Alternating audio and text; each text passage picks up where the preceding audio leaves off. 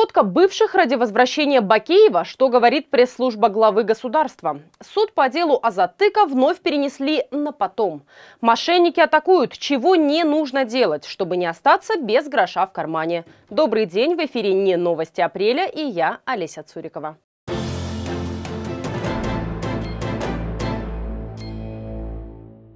Ну что, друзья, начнем с медиа новостей. Сегодня прошел суд между Азатыком и Минкультом. Только в пятницу рассматривали жалобу СМИ в адрес ведомства, а сегодня наоборот – предложение Минкультуры о закрытии, то есть прекращении деятельности Азатыка. На прошлое подобное заседание, как вы помните, истцы, то есть ведомства, не пришли. Как водится, журналистам сегодня снимать разрешили всего 10 минут от начала, пока не началась жаришка, а то зачем это надо, уят болот. Истцы заявили, что нужна лингвистическая экспертиза материала Азатыка, но суд оставил ходатайство открытым, потому что непонятно, что конкретно эксперты должны проверить. Сторона ответчика, то есть СМИ, попросила конкретизировать, какое СМИ хотят закрывать. Ведь спорный материал – продукт другого медиа, настоящего времени Азия. Анан-банан журналистов вывели из зала, а затем представительствующая судья решила, что предварительные слушания пора прекращать и нужно заседание по существу. И пройдет оно, знаете когда? Аж 6 марта.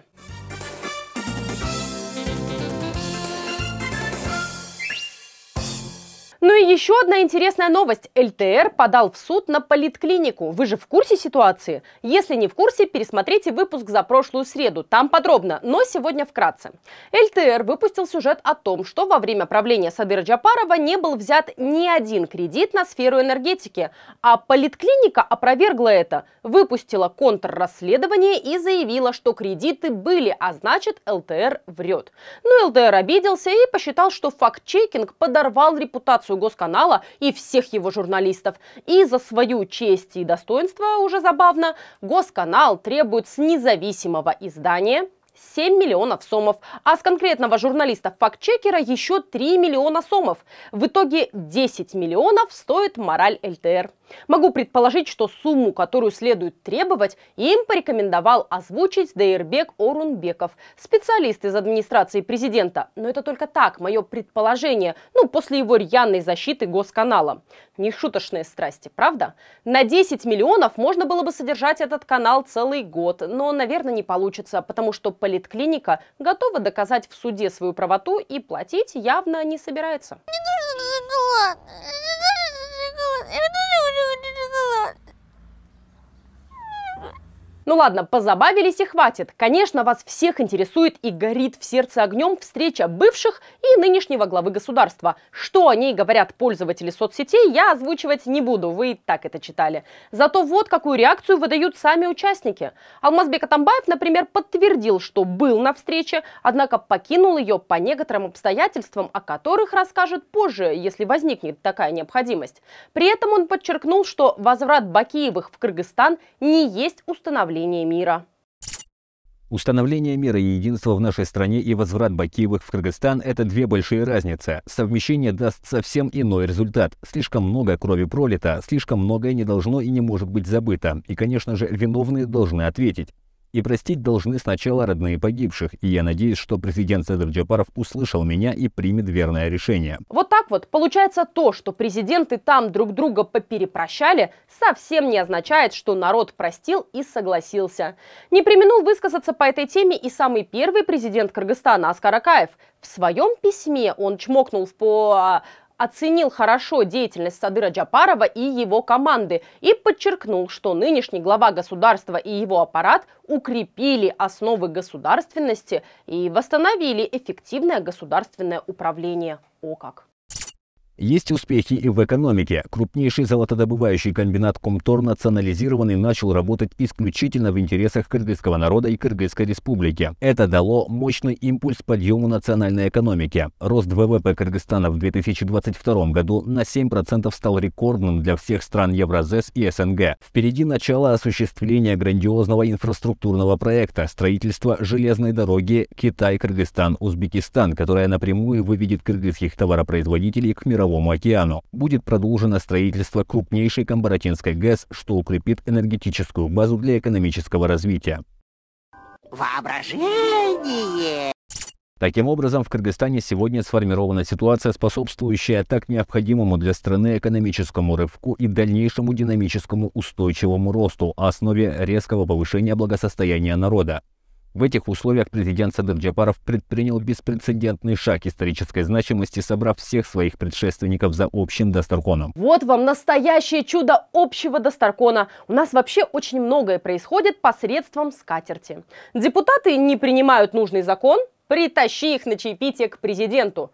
Проблемы с доверием к власти? Проведи встречу с бывшими, да накорми людей уже. Что там едят с этого Достаркона, я не знаю, но правду, наверное, говорят. Сытый человек всегда добрее. А вот многие увидели в этом акте попытку обелить грехи Бакеева и тихо, без шума вернуть его на родину. Например, депутат Достан Бекешев. Но мое мнение тут такое, знаете, реабилитация Бакиевых началась э, еще в 2020 году, и все это прекрасно понимают, что в принципе много чего делалось для того, чтобы реабилитировать э, это прошлое.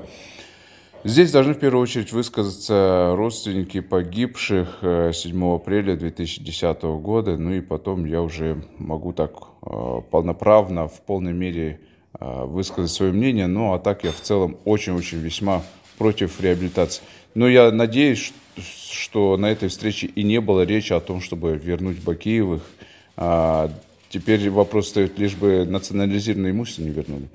Ну и, наконец, зачем была вся эта катавасия, объяснил Эрбол Султанбаев, пресс-сек президента. Султанбаев пояснил, что главная цель встречи истинная национальная консолидация, объединение во благо развития кыргызского государства. Как конкретно этот митинг поможет развиться кыргызскому государству, если как минимум двое бывших у нас в бегах, мне лично непонятно, но понятно пресс-секу, наверное. Все руководители страны имеют свои недостатки, народ это хорошо знает. Вместе с этим нужно помнить и хорошие стороны. Если говорить конкретно про Алмазбека Атамбаева, то мы не должны забывать и позитивных моментов в период его правления. А нет, походу, ему непонятно или понятно. Султанбаев выразил сожаление, что сторонники бывших и нынешнего глав все еще дискутируют в соцсетях и предложил вместо болтовни тратить силы на созидание во благо Родины. Основная цель встречи, по словам пресс-сека, прекратить порочную практику. Ну вот эту, когда каждая действующая власть все плохое приписывает бывшим. Стоило ли это целого Достаркона в Дубае, судите сами.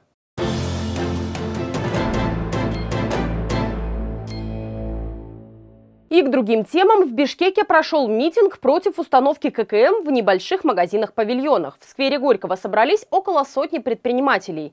Участники требуют от властей оставить их на патентной системе налогообложения и не внедрять ККМ в магазинах. Как сообщили участники митинга, налогообложение слишком высоко и несоразмерно выручки предпринимателей. Помимо этого, бумажная волокита отнимает очень много времени. Э, мен башын айтып коеюн көпчүлүгү мисалы эл э, биздин кыргыз эли туура эмес түшүнүп атат ккмден эч ким качпайт ккмди иштей берет коюп коет бирок бунун ккмдин эң биринчи проблемасы бул штрафка негиз түзөт коррупцияга негиз түзөт эмне дегенде ккмди баары убагында эле баса бербейсиң мисалы сен унутуп каласың бир киши иштеп аткандан кийин чыгып кетесиң же болбосо бир кардар менен сүйлөшүп каласың же бир варианттар болуп калат ушундай кээ жанагы мектептин учурунда балдар звонокко тараганда топурап балдар жаш балдар кирет алардын баарына сен ошол кезде бүттүгүнө ккм басып чыгарып барып бере албайсың мунун көп эме варианттары бар. Жалгыз адам мындайча айтканда баарына жетишпейт ал кардарды жөнөтөбү ккм менен же келген товарын тизеби же тиги мындайча айтканда магазиндин бир эле түйшүгү жок ал жерде деген көптөгөн түйшүктөр бар.